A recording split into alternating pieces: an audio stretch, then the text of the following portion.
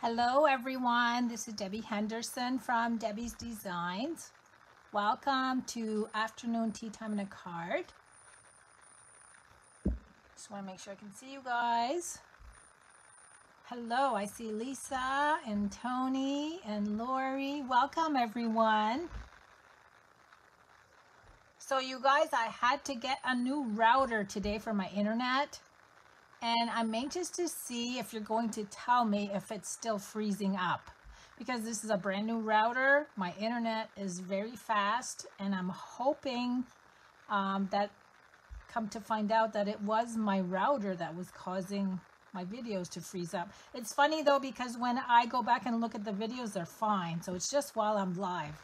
So you guys let me know if you're still freezing up because then I'll know for sure that it's not me. So good evening everyone. I am going to be creating, oh you know what I forgot? I forgot to put my, my little microphone on. It's too late now. Um, I think I put on my description. I'm making a slimline card tonight. You can see some of the products here. I'm actually using our Bumblebee embellishments the bow punch, the ornate frames for my sentiment. I'm using this one right here. So I'll need to dig that out actually because I need to cut it after I stamp it. I'm not using the Honeybee Home stamp set, but I am using the Honeybee Blooms, oh, some of these branches, and I've already pre-cut most of them. Oh, actually, I am using the, the stamp set because I'm using the Miss You sentiment. Let me bring some more stuff in. Uh, Early Espresso ink. I'm using the Flowers for Every Season bundled uh, combo pack ribbon. This is the gingham one. And I'm using our Essentials Baker's Twine. I'm using this color right here. So let me bring in all the die cuts. I'm gonna make something pretty. These are all the die cuts. So this is from the Bow Punch. This is from the Bow Punch with soft sea foam. And then these are from the dies that I just showed you from, from the Honeybee Home Bundle. This is soft succulent. I'm going to use all of these on the front of my card. I'm going to show you all the layers before I show you the card. So this is my slim line. This is soft succulent and it measures eight and a half by seven.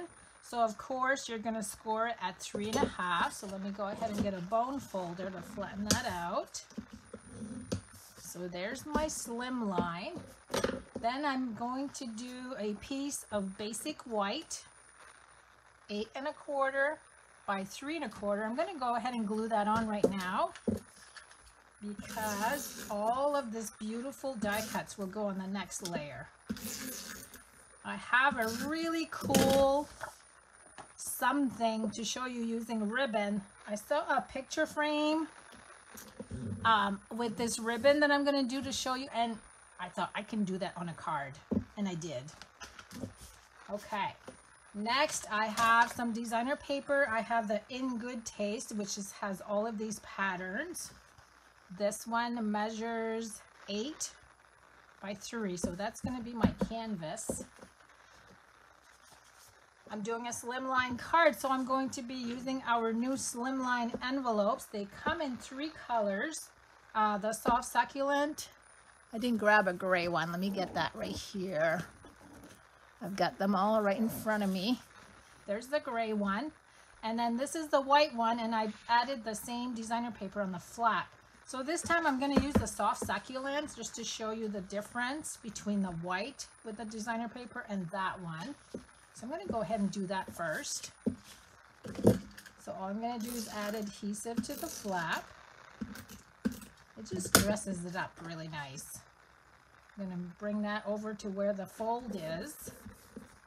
And then all I'm going to do is grab my paper snips and just use them to trace around the envelope. Very easy. I know a lot of you guys do this because when we do swaps, we do our card swaps, I get a lot of envelopes with flaps that are all decorated with designer paper. It's a good way to use up your scraps because it doesn't really take a lot to do this. Okay, so there's my envelope. Which one do you like better? They're both so pretty. It just makes it pop, just having that dark color on there. Okay, so I'm going to put that aside. I've got basic white for my sentiment. I wanted to bring in, I'm not using this tonight, but because I'm using the slimline envelopes, I wanted to show you the bundle that you can get with that. These are the envelopes that I just showed you. So the slimline envelopes. This is the stamp set, Slim Sayings. You can see all the sentiments. I couldn't use this on my card because they're too big for the card that I'm showing you tonight. And then these are the dies. You get two that you can cut a layer to put right in front.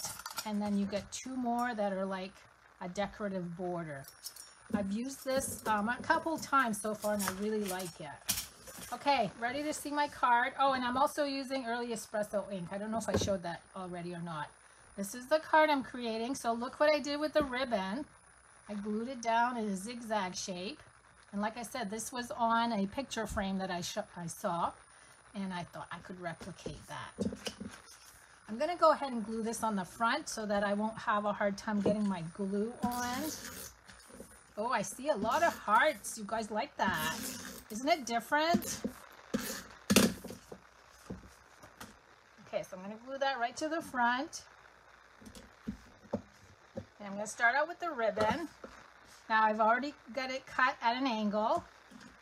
I'm to go about halfway up. Start right in the center. Work my way down. Okay, there's my, I just added one strip. I'm to start by angling my ribbon this way. I'm to start that right there. And then all I'm to do, it's so easy. I'm just to pull some of this out. You're just to flip it over.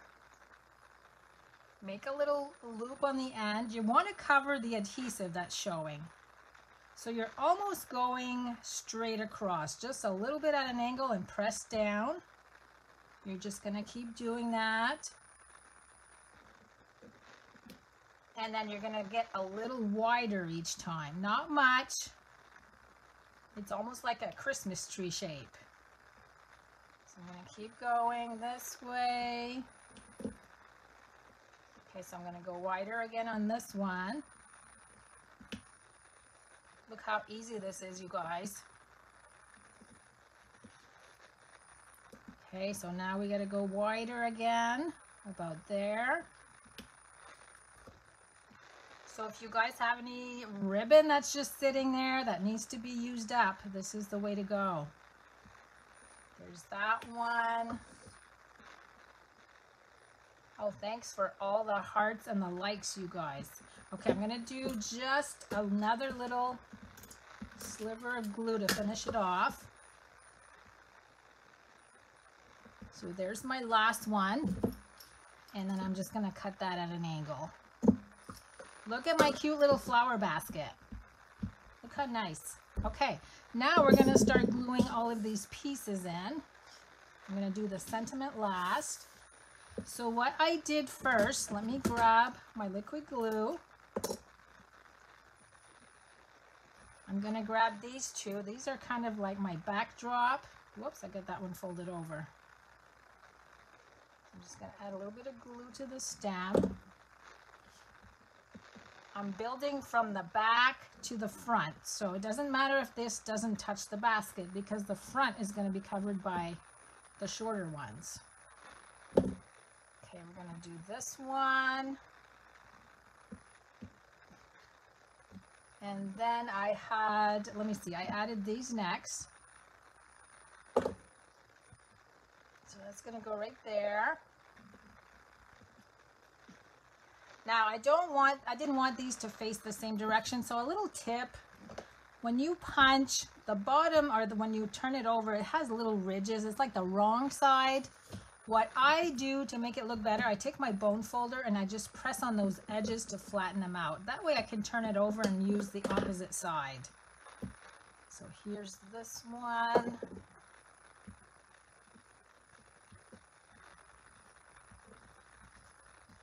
And then I used the little long leafy one. I'm just kind of building a bouquet. That's all I'm doing. Now I want to flip this one over also. So I'm going to flip it over and whoops, soften up those edges, flatten them out. You can see how I'm filling up my little flower basket. Now we're going to use three of these. So I've got one on each side. This one I'm going to leave as is. I'm not going to flip it over. Now on my last one, I added a mini dimensional just under the flower. I'm going to glue the stem flat. Let me peel my dimensional. I just wanted it to stand up a little bit. So it's kind of popped. There's my bouquet. This is going to be so quick, you guys. Okay, next is my little bow. Now I cut three pieces of the twine, 14 inches long, and I made a triple bow. So I have a lot of loops there. Or I think it's a double bow actually. I'm going to add some glue dots. I'm going to add a couple. And I am going to add just a couple dots of the liquid glue around the glue dots.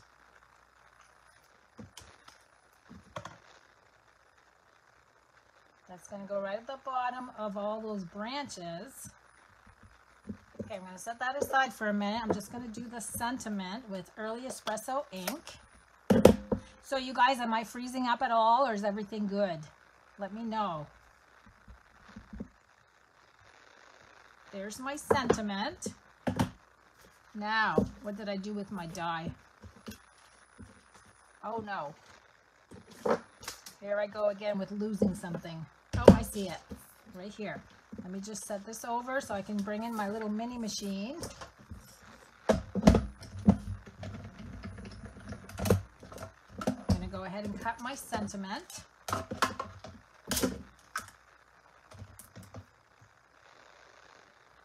going to use a little piece of tape to hold that. And remember the thing about staggering the, the cutting plate so that it grabs easily. There's my, isn't that cute? It's got a little bit of stitching around it. It's really cute. Okay, let me bring the card back in. Oh, I forgot my little, my two little branches right here. I got two more to add. Totally forget those. So I gotta sneak those in there. Just add a little bit more green of the sea foam.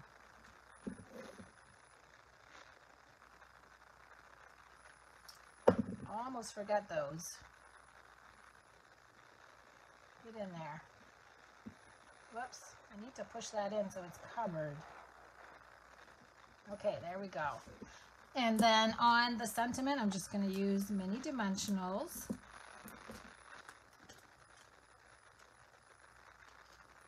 And then I'm going to show you what I'm going to be doing on Friday for, um, I have a workshop on Friday on my business page. Okay, there's my sentiment.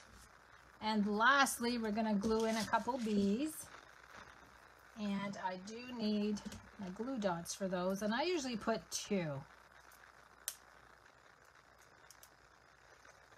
So I'm going to stick in one in within the flowers or the, the branches. And then I'm going to put another one up here somewhere. And then a third one down below. So you guys, um, I did not, I almost forgot to, um, I, get, I need to pick numbers so I can pick a winner for the card. So I'm going to pick a door prize, a, a winner for the card. So there's my card. What do you think? Isn't that cute? And then we're going to add in of course, the envelope that I just decorated the flap with. Now, before, oops, that's the wrong one. Before I draw a name or numbers, I wanted to show you what I'm doing on Friday. So I'm doing my mini workshop, which is going to be three cards. I'm going to offer a free gift and three card kits. I'm going to be using the Awesome Otters stamp set. This is the door prize for tonight also. I'm going to draw a name for the door prize and a card. I'm going to show you one of the three cards that I'll be showing you on Friday. This one here. Isn't it cute? I'm using the uh, embossing folder on the background. Look how cute that is. So this will be one of the card kits that I'll offer uh, for anyone placing an order during my workshop. So be on the lookout for an announcement. Friday at 7 p.m. Eastern Time on my Debbie's Designs page. Okay, let me write down two numbers. And I learned something, you guys, before you start, um, because I watched someone else with another business. And when you guys start commenting, I don't see everybody's comments for some reason she tells everybody to put an emoji after the word that I give you, put a little smiley face or something, and the comments, uh, Facebook does not filter them out when you do that. So I want you to comment with the word B for Bumblebee. And I've got two numbers here. We're going for the card first, so go ahead and start commenting with the word B. Okay, that's it for tonight, everyone. So I hope I'll see you Friday on my Debbie's Designs page. I will be doing that mini workshop. So good night, everyone, and thanks so much for visiting with me. Have a good week.